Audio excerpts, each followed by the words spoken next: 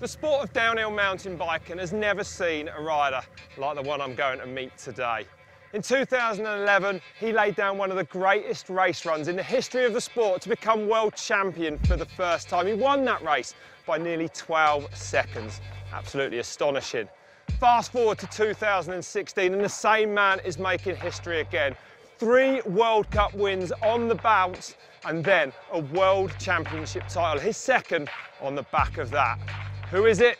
It's none other than Danny Hart.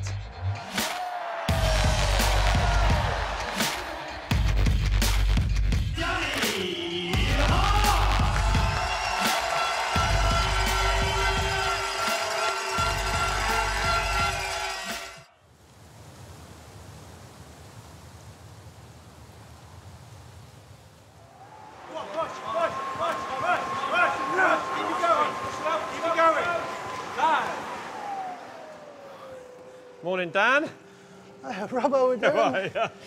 Couldn't have quit. Looks like I caught you at a bad time.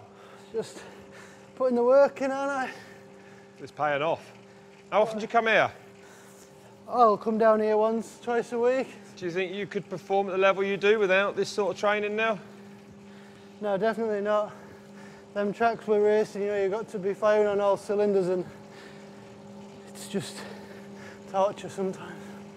How scientific is it these days then? I think cycling in general, not just downhill, Yeah. has gone very scientific. It's a game of science now, and I think introducing this with these guys has just helped us take that to the next level. You can't rely on the results of last season, particularly in a sport like downhill. You know, you can be up and you can be down Yeah. just as quick. It's going to be the hardest part of it is to carry on where I left off, so I need to work even harder to get that. Yeah, a lot of pressure on your shoulders this coming season. Is that right? You are the most mellow downhill racer I've ever met, right? I mean, you're still only 25, twice a world champion. You've smashed records in the sport all the way along. What, what motivates you for the future? What, what, what do you want to do now? I just enjoy riding my bike. Would it mean anything to you to be the first Brit to be three times a world champion and join a very, very elite club? Ah, I guess it would for a bit, yeah, but it's just one of them things, I've never met anyone like you, honestly. You're quite private, you don't get caught up in all the hype at the races. You If I stay had my own way, I wouldn't have to do all this stuff and I'd just be a Jedi. Come on, go, go. Push, push, push. Keep it going. Oh, that was a good one, look at that.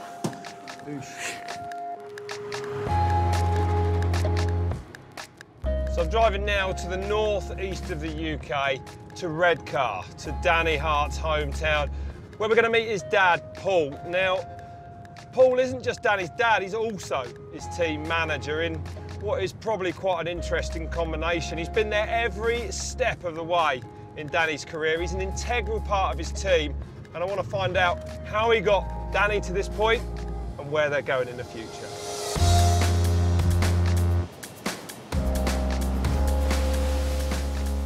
I think I've got the right house.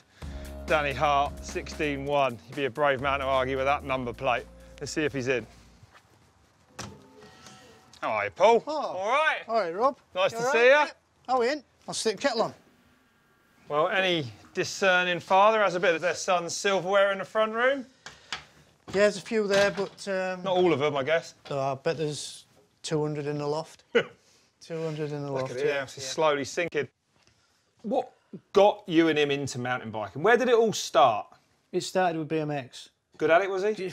Yeah, he was good at it, but he wasn't big enough. He wasn't big enough. He's a small lad, isn't he? Yeah. He's a little lad yeah. now still. So yeah, it started off in BMX, and I realised it, it wasn't going anywhere. You said to me when he was a little lad, you said to me that Danny has got to make it at downhill. You said to me he's got to make it at this because he ain't got nothing else. No, he didn't really apply himself at school like most kids, like a lot of the top downers actually, and people in sport. He would have rather been out riding his bike, right? Oh, certainly. I mean, when we realised, you know, that yeah, there's a glimmer there, we just went for it.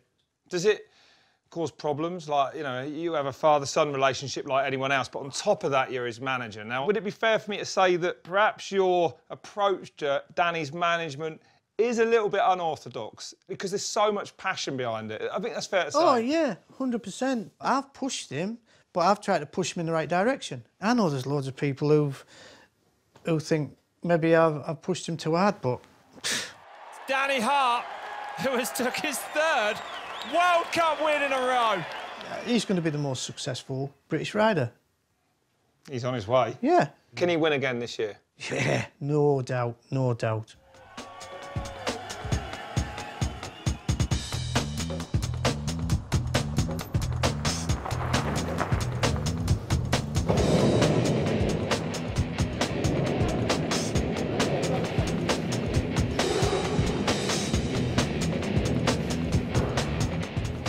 This is the arcade skate park in Redcar.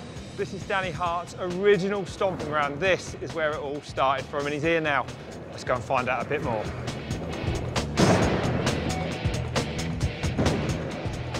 Is it fair to say, Danny, that without this establishment, without you know facilities like this, you might not be the man you are today, might not be downhill world champion? Yeah, it's crazy to think just coming here was the start of me, the start of the rest of my life, if you like, from when I was seven, eight years old. I always tell kids, you know, riding BMX is always a good start for you to, Yeah. to learn your trade, if you like.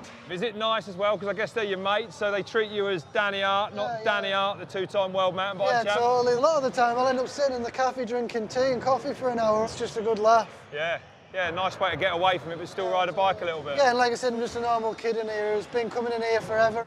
I tell you what, you show me what you got, and I'll go and get my bike, because I'm red hot in a You skate better park. go and get it. I'm going to go and get it, yeah. Right, I'll Yeah. see you over there in five. Yeah, we'll be there in a minute, honestly.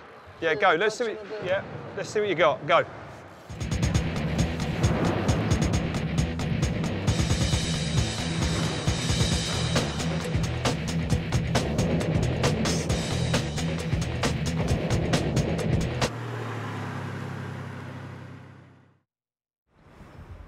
This has got to be Danny's house. No one else round here is going to have a bulldog in the rainbow stripes on the front. Hello, Dan. Hello, Rubes. Hello. How are you? Sorry. How are you doing, Rob? All right, mate. Hello, Safe. How are you? All right. So we're going to go riding, are we? Yeah, yeah, let's do it. Shall we take the camper? Yeah. Lovely. Oh yeah, great. So this was home for the summer, is it? Is this where you base yourself at the races? Yeah, this is it pretty much. You know, it's a bit of a home from home and pack a van from the house and that. It's, it's wicked. Come on, Safe. Let's go. Is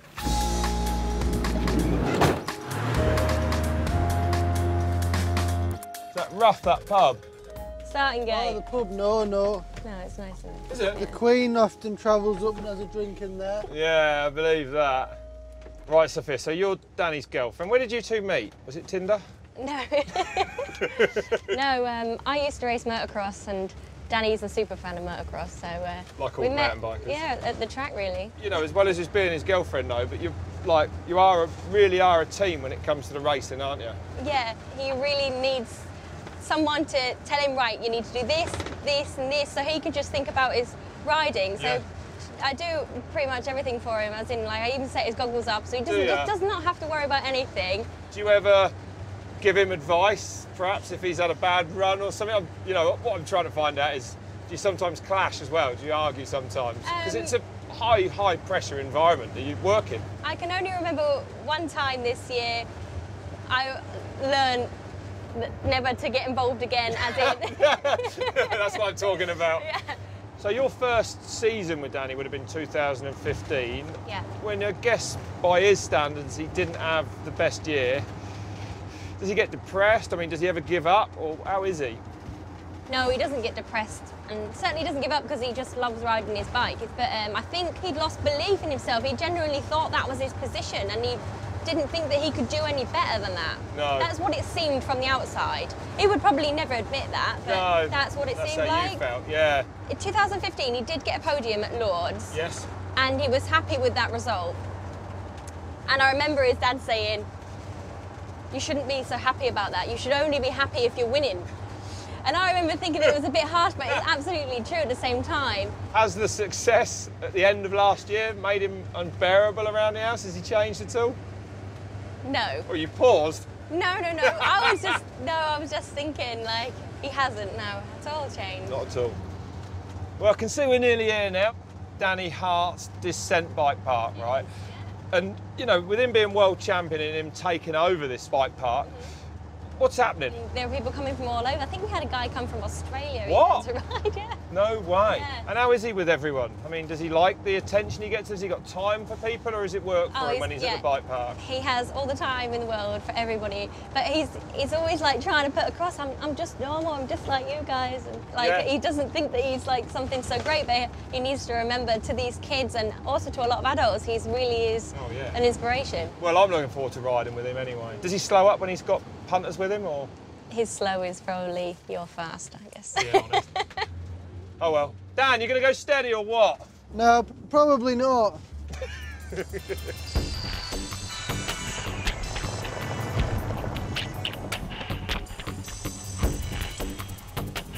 How long have you been riding here? Well, a lot of years now, probably since I was like 11 or something like that. Yeah, it's been a, a big element to Really? my Yeah. success, I guess. I said to your dad a, few days ago, I was like on the phone, I said, how good is it here? And he said, well, it's good enough for Danny to become world champion twice. and now you own it. Is this the future for you when you finish racing, Dan? Yeah, I believe so. It's always good to have something for when I'm done, and it's good to put something back into what's helped me out Yeah. like, so much over the years. So All right, you better go first. You know this track quite well? Don't go mad. once I get going, it's hard not to. Is it? Hey, slow down a bit, Danny. Already gone.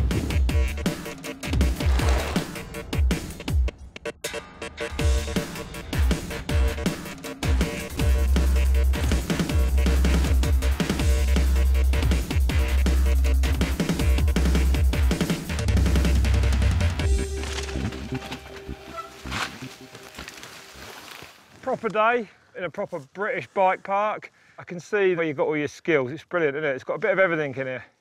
yeah, we breed them hard up north. Jumps, roots, rocks, Yeah, you name it, we've got it here. So I've really enjoyed it, mate. Good luck. Thanks a lot, dude. Thank you.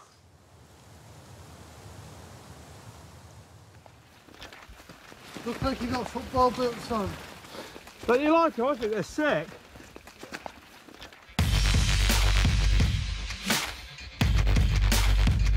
Pretty fast. Careful. You can't keep up, you know, just, just shout, I'll slow down for you.